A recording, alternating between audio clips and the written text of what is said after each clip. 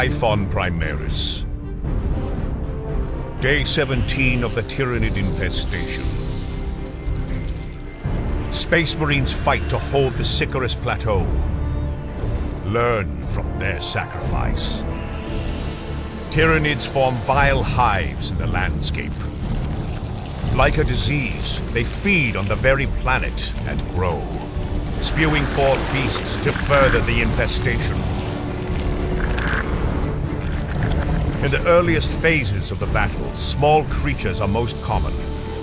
Although dangerous in numbers, they are no match for well-prepared space marines. But far deadlier creatures lead them. The lictor lurks in every shadow, ready to attack. The ravenous serpent beast strikes from below. And towering above them all, the Hive Tyrant. Most deadly is one of these beasts at the head of its brood. The smaller creatures protect the leader, and in turn, the leader strengthens them. To repel such a swarm requires our most potent weapons. And even scourging orbital fire may not suffice when the Hive unleashes the mighty Carnifex. Or the very ground turns against